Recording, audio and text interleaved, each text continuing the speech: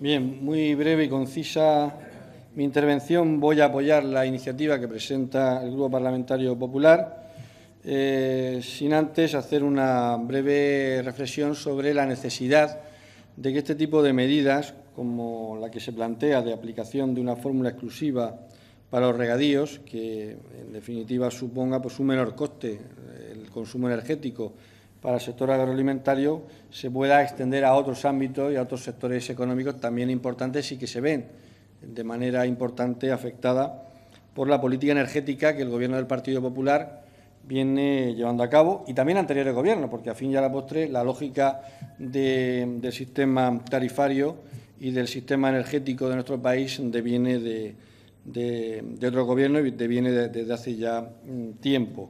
Yo creo, la impresión que me da, que esto fundamentalmente mm, denota pues, la mala conciencia que hay sobre la política energética y, sobre todo, sobre esa política contradictoria en la que eh, pues, eh, muchos agricultores eh, han sufrido pues, un perjuicio económico como consecuencia de la inseguridad jurídica que ha supuesto la aplicación de medidas mm, legales retroactivas, particularmente en todo lo que tiene que ver con la energía fotovoltaica y el fin de los incentivos que en su momento se aplicaron.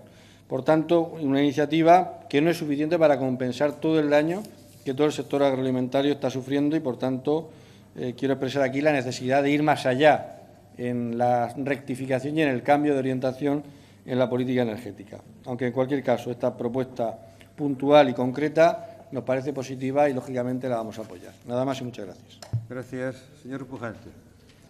Señor Cano, tiene turno.